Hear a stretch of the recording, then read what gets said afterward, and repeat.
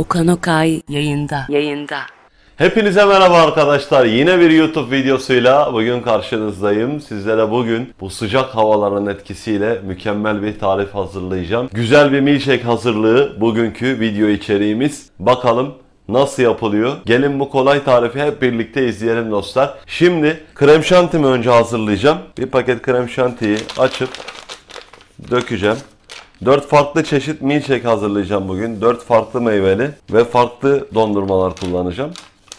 Şöyle kaldıralım bunu. 200 milim doğal sütümüz var. 200 milim sütümüzü dökeceğim. Şöyle tozutmadan dökelim. Krem şantinin dolapta beklemesi lazım. O yüzden krem şantiyi önce hazırlıyorum. Şöyle karıştıralım. Etrafa sıçramasın. Blender'dan bunu yavaş yavaş çırpacağım. Şöyle de biraz tutmaya çalışacağım. Sıçratmamak adına. Siz de böyle kullanın.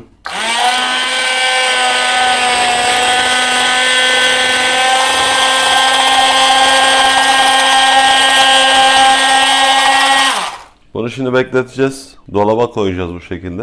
Dolapta daha sonra yoğunlaşacak. Sevgili dostlar, milkshake yapımımıza devam ediyoruz. Şu anda krem şantimiz hazır buzdolabında. Biz de şu anda meyveleri ve diğer içeriklerini hazırlayacağız milkshake'in.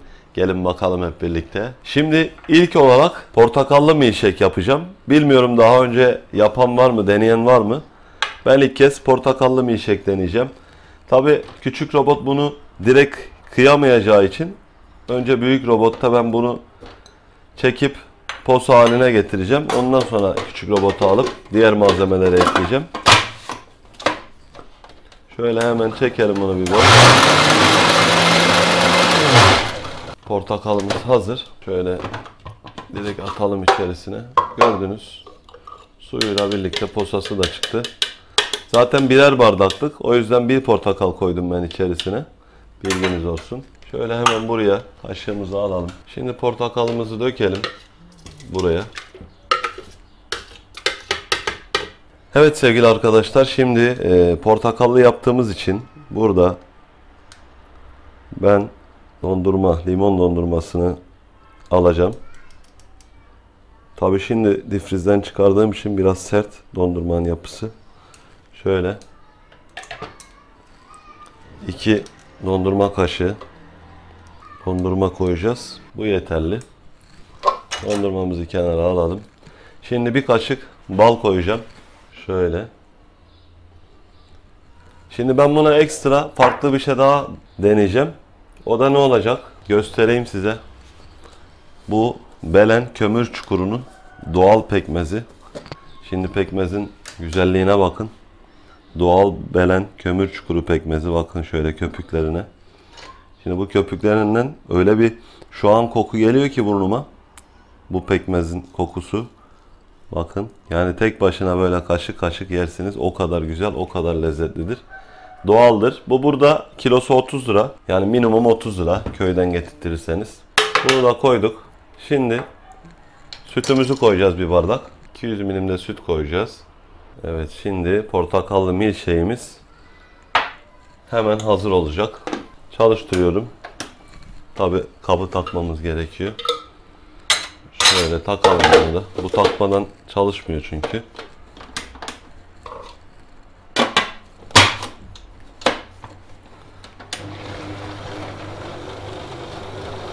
Gördüğünüz gibi portakallı milkshake.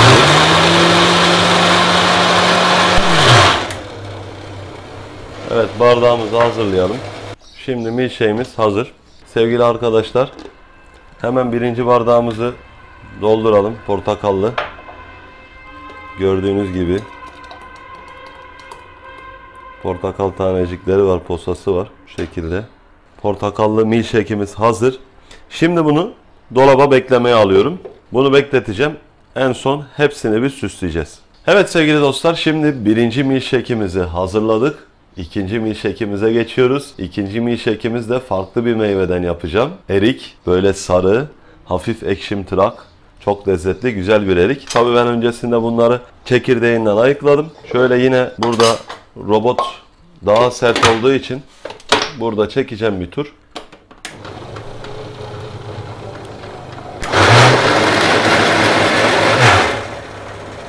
Çünkü Çünkü yukarı atıyor sert bir meyve olduğu için. Evet çekiyoruz şu an.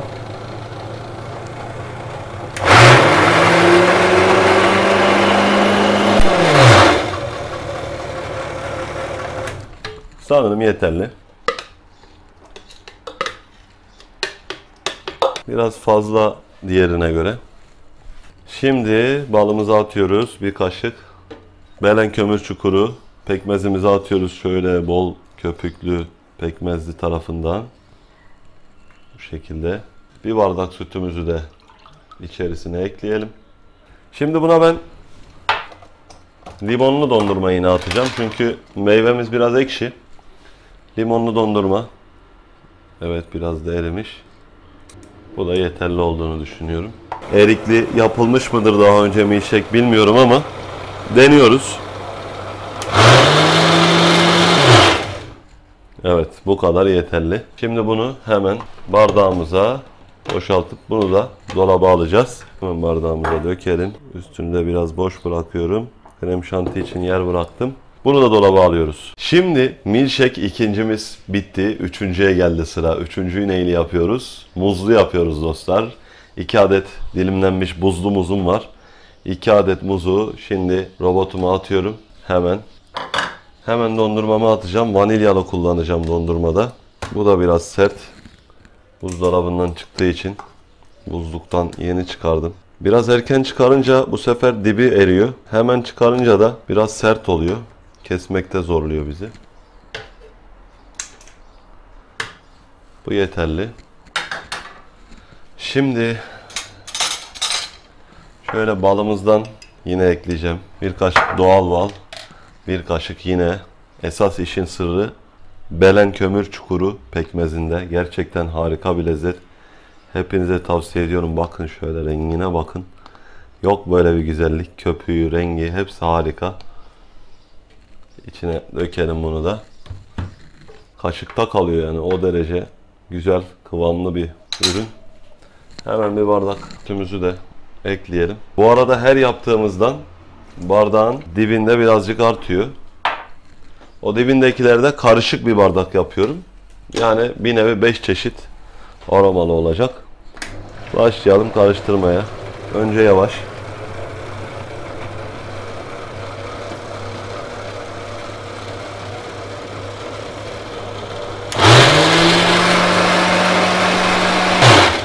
Evet, makinamız çok ilginç bir şekilde durup hareketleniyor. Bardağımıza koyalım. Bu da muzlu milkshake'imiz. Köpük için, krema için yer bıraktık. Bunu da buzdolabına koyuyoruz. Sevgili dostlar, üçüncü milkshake'imiz de hazırlandı. Şimdi dördüncü milkshake'imize geldik. Mükemmel lezzetler gerçekten harika. Burada biz lezzet komasına girebiliriz yani onu söyleyeyim. Şimdi dördüncü milkshake'imiz ve milkshake'lerin vazgeçilmezi. Tabii ki çilekli milkshake. Çilekli milkshake'imizi de dökelim. Bunu da buzluktan çıkardım. Özellikle bu ürünleri buzluğa koyuyorum ki yaptığımız zaman gerçekten harika oluyor. Şimdi çilekliye çilekli dondurma alacağım. Bu tam çilekli olsun. Ultra çilekli olsun. O yüzden çileğimizi de koyduk.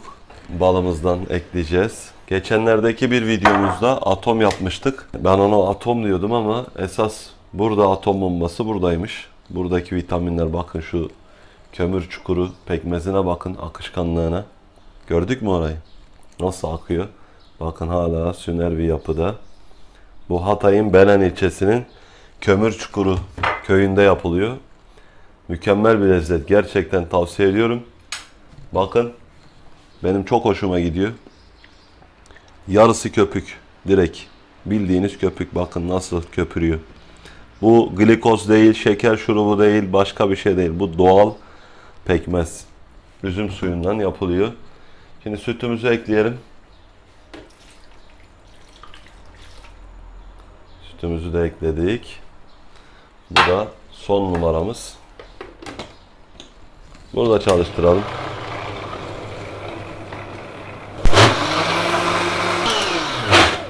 Evet bu da hazır. Hemen bunu da bardağımıza alalım. Şöyle.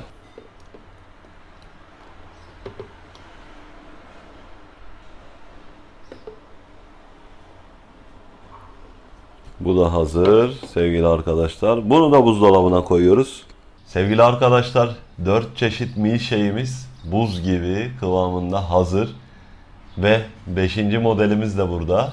Hepsini şimdi sizlere teker teker göstereceğim. Süslemelerini de yapacağız. Şimdi burada en baştaki bardağımız erikli. Erikli milkshake'imiz, çilekli, portakallı, muzlu ve bu da dördü karışık bir şekilde. Şimdi bunlara biraz krem şanti dökmeye çalışacağım.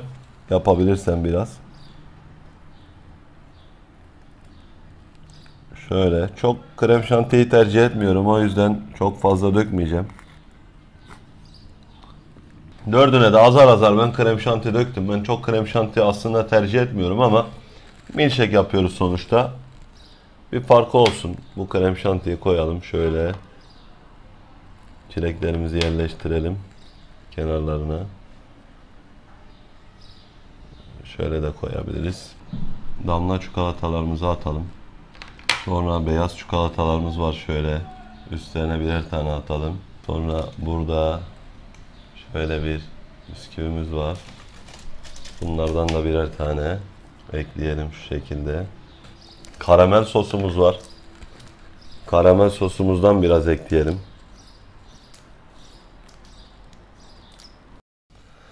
Şimdi çikolata sosumuz da var biraz. Ondan da biraz ekleyelim. Bu daha koyu. Çikolata sosunun kıvamı. Bakalım tatları nasıl olmuş hepsini deneyelim teker teker. Şöyle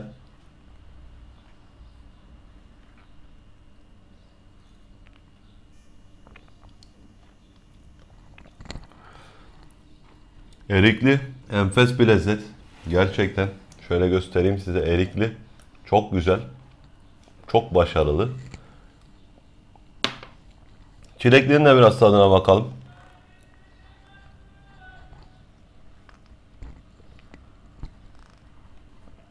Wow, çilekli. Bu da çok fena. Benim genelde tercihim çilekli olur. Ama erik çok enteresan, farklı güzellikte olmuş. Şimdi muzluya bakacağım. Yok, portakallıya bakacağım.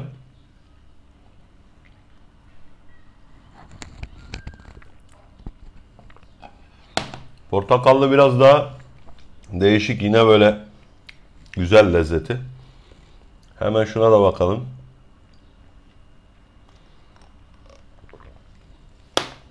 Muzlu, standart muz tadı yoğun. Bir de karışığımız vardı bu. Karışığımızın da bir tadına bakalım.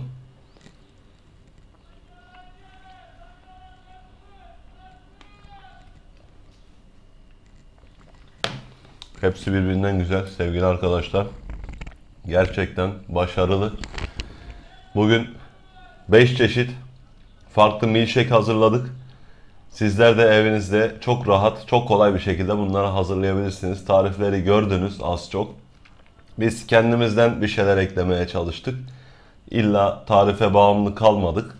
Kendi keyfimizce içimizden geldiği gibi bir milkshake hazırladık. Dışarıda bunlara dünya para veriliyor. 14-15 liradan aşağı içemezsiniz. Belki daha fazladır bilmiyorum. Ama evde bütün bunları çok uygun bir şekilde dışarının 5'te biri fiyatına elde edebilirsiniz.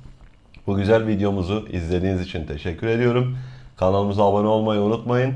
Yeni videolarda buluşmak üzere. Hoşçakalın.